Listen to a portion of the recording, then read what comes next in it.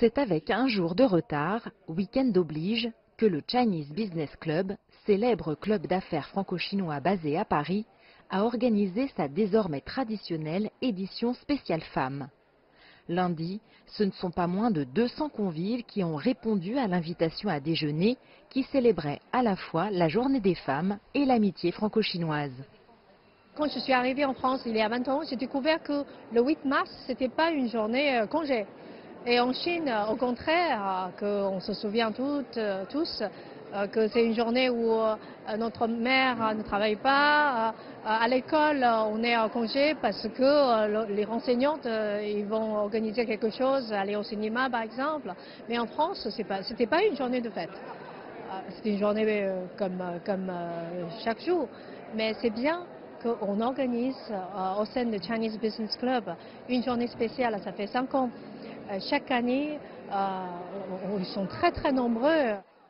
Parmi les invités prestigieux du monde des affaires, de la politique, du spectacle et des arts, la créatrice de mode Chantal Thomas, cette icône de mode qui a lancé sa propre marque dès 1975, nous livre sa vision de la femme idéale en 2020. C'est une femme libre, c'est une femme qui s'assume, c'est une femme qui a envie de de faire un métier qui la passionne, mais qui veut aussi avoir une, vie privée, avoir un mari, des enfants et euh, être heureuse dans sa vie privée. Et c'est vrai que c'est quelque chose d'assez difficile pour les femmes en général.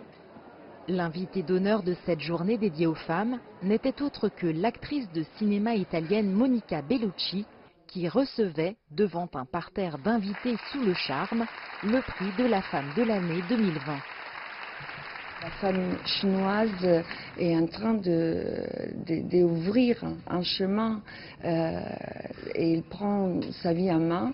Et je trouve que, moi je suis italienne, je trouve qu'il y a une corrélation entre les femmes italiennes et les femmes chinoises, dans le sens que euh, dans les deux cas, on a vraiment le culte de la famille. Alors que l'épidémie de coronavirus fait toujours rage en Chine et que l'Italie est à présent le deuxième pays le plus contaminé au monde, la star a aussi tenu à porter un message d'espoir. C'est un moment très difficile, c'est vrai, mais qui ne prend pas que la Chine, ça prend le monde entier.